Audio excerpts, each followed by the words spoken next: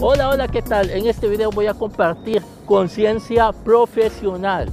Cada persona que es emprendedora, cada persona que tiene su propio negocio, ya sea como un negocio local o un negocio como networking, es esencial y es una necesidad ser profesional.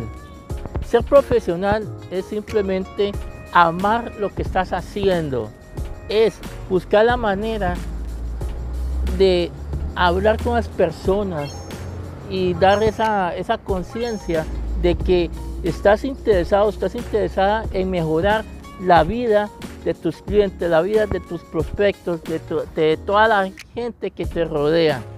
Ser profesional no es tener títulos. Ser profesional, profesional es amar lo que estás haciendo. Hablemos de este tema uno a uno, de corazón a corazón. Este es tu amigo servidor Néstor Alfaro.